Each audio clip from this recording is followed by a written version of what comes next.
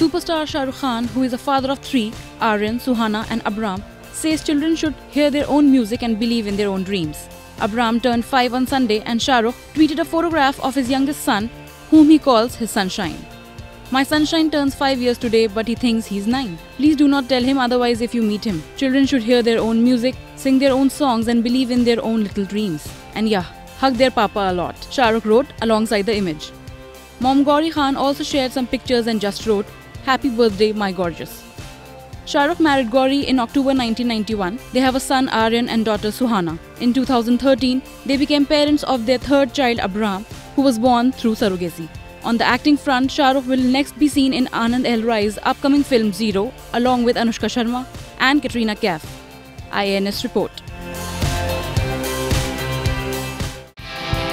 Subscribe to our channel. Just click on the bell icon for all the latest updates.